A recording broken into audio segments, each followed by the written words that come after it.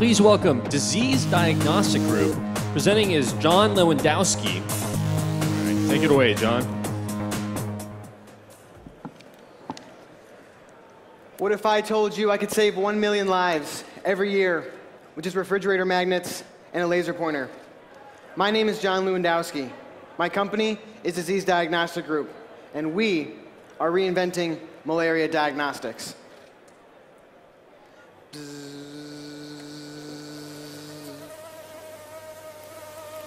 We've all heard that annoying sound before. Campsites, picnics, maybe even vacations. But what if you heard that sound every night of your life? And it wasn't just one, it was hundreds.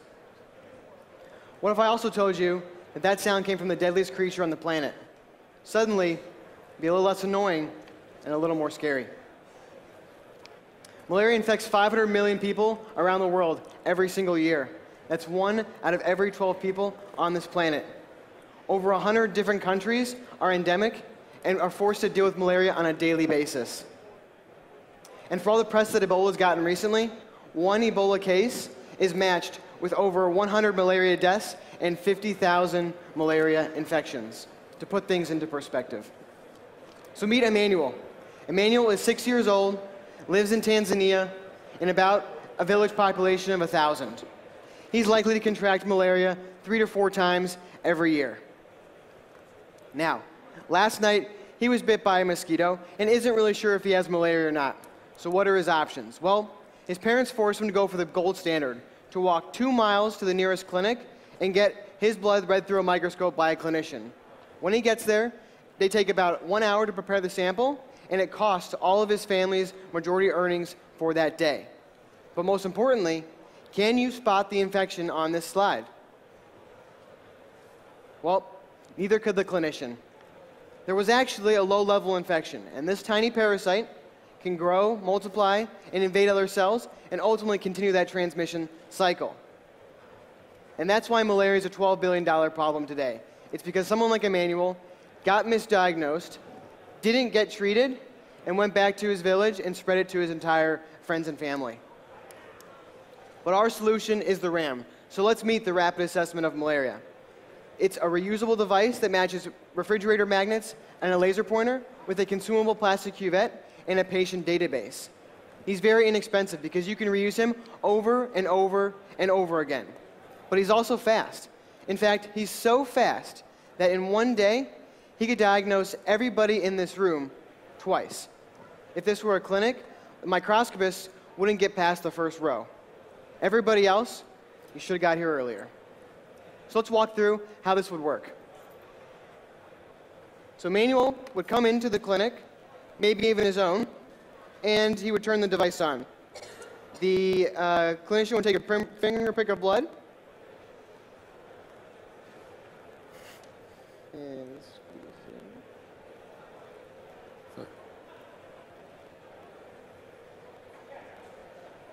and place it in the cuvette. And then shake it up. Now, even Emmanuel could do this because it doesn't require any clinical expertise. He simply places it in the device. And as soon as the device is calibrated, he can press go. Now, while that's calibrating, we can go back to the presentation briefly, and we'll look at what's actually happening inside the test. So, we're looking at magnetic biomarkers within these malaria parasites. What this allows us to do is manipulate these magnets in a way that change the amount of light that comes through the sample. That gives us not only a binary decision on yes or no if he has an infection, but also how large that is. Uh, and it looks a lot like this. So if you have an infection, the tiny microorganisms in the sample will be doing this underneath that magnetic field and be giving us a quantitative diagnosis for that blood sample. We'll now start running the test, and we'll come back in about 20 seconds to see the result. What this ultimately gives us is a patient database with a patient ID and a score. That score is qualitative or quantitative to how large that infection is and actually gives you the amount of treatment that you need to give to him. It also stores that patient ID number so you can then track his uh, diagnoses over time, even do an epidemiology study for the WHO. So this device was built out of my research at MIT in mechanical engineering. We've built about 20 of these different devices over the lifetime of this company, And what it's been able us to do is deploy them into Peru, Papua New Guinea, and India for clinical trials across about 1,000 patients and 95% sensitivity. So imagine the capabilities of this device. Imagine leaving this conference and going through airport security and getting your blood tests on the way out so that you don't transmit the infection into your incoming country. Imagine being able to take this device and put it on the back of a truck with mosquito bed nets or other treatment that's not normally allowed because of refrigeration issues. That's now possible. Let's make one thing very clear. This is not just the only device or the only test that we can do, it's just the first. Malaria is the first out of HIV, other neglected tropical diseases that we can attack with this magneto-optical platform. We plan to do so in the coming years. And with that, I have two very big announcements. One, that we've par partnered with Bosch Healthcare in India for distribution. And also, we've gotten free product development services from the famous design firm IDEO to make the device smaller and improve the user interface. And so now we have uh, interest from a number of different organizations around the world, NGOs, malaria clinics, and even militaries. And so ultimately, my call to action is that if you know someone with malaria, know someone with high net worth that's interested in philanthropic investors, uh, visit our website and help us reach 1 billion people and stamp out malaria. Thank you. Awesome.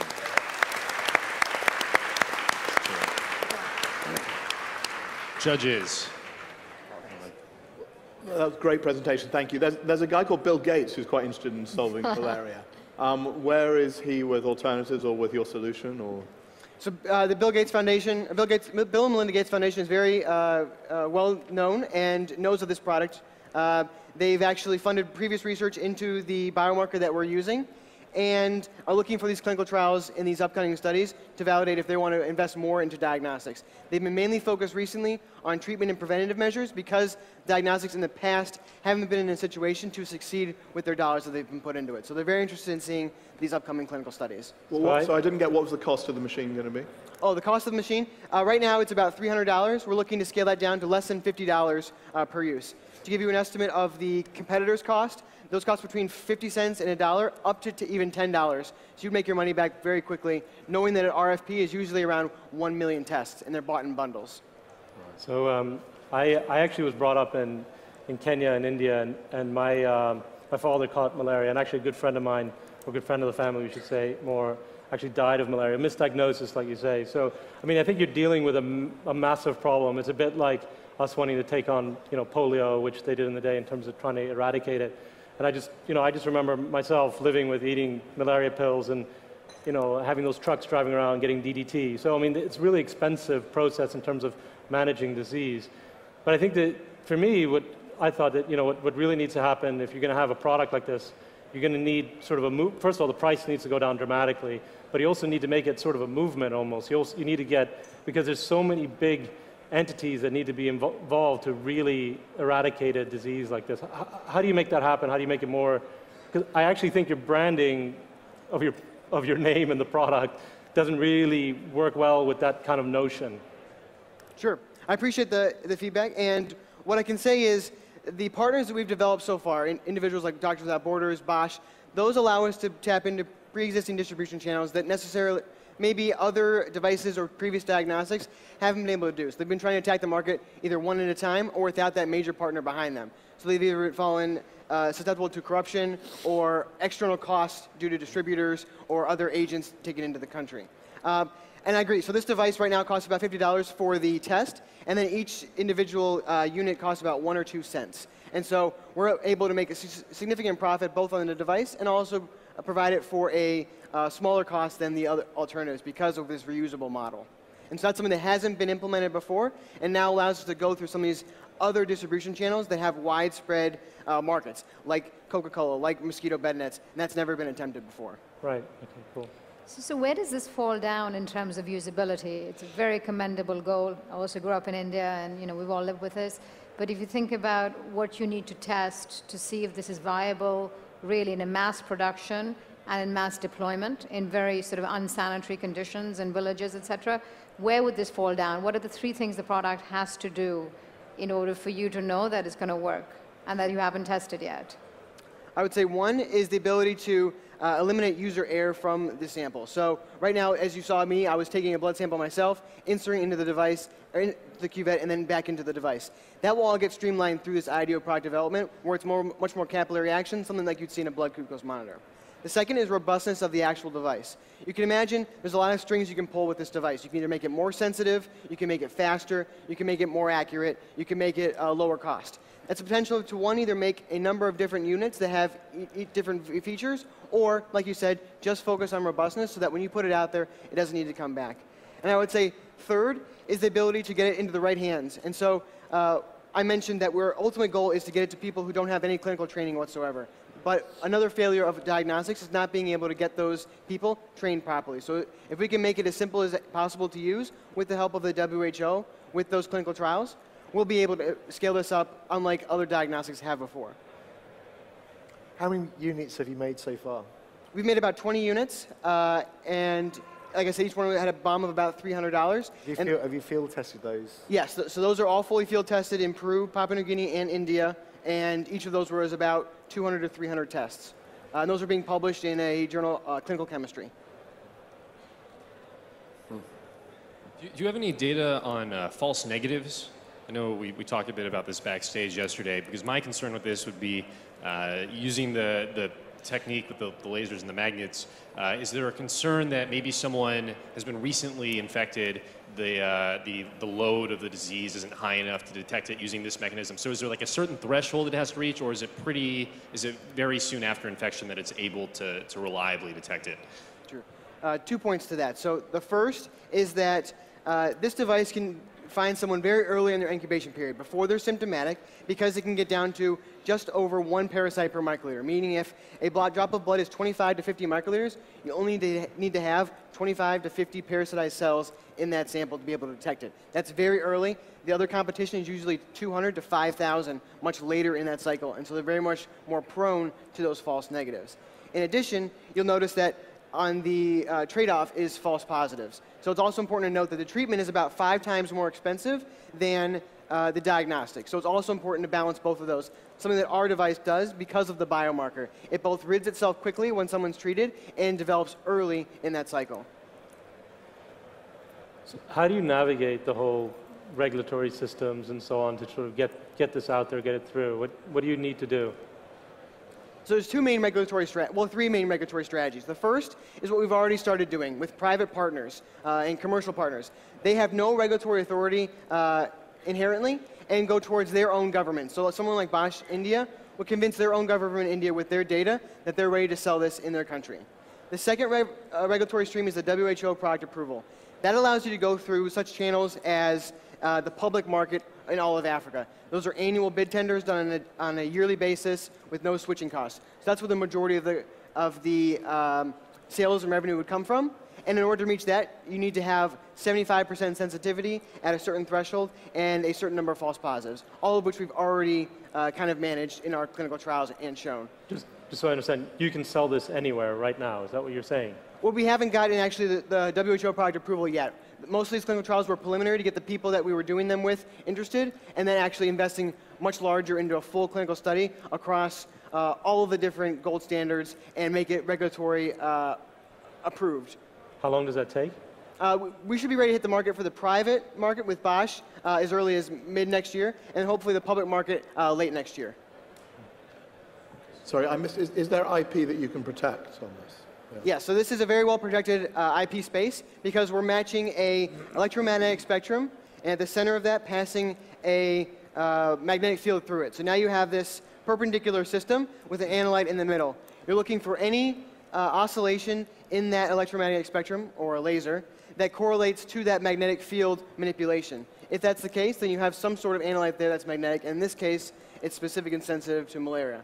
On that point, we also have uh, IP being generated for the ability to scale up to other diseases, even if they don't have that inherent magnetic biomarker present. You could put magnetic beads into the sample and then look for that same uh, oscillation in, in, uh, at that frequency, and you'll be able to know I either have malaria in this, this well, tuberculosis in this well, or very many others.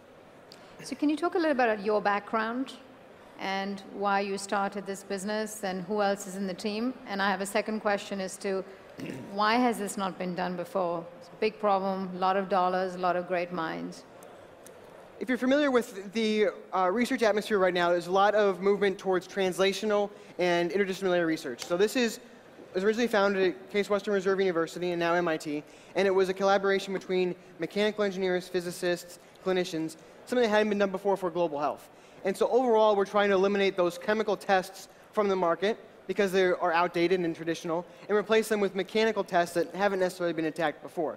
So that's where I come in. I'm a mechanical engineer. My goal is to build low-cost diagnostics that implement these mechanical properties of the cell or of the system, and then match that with clinical expertise from various advisors.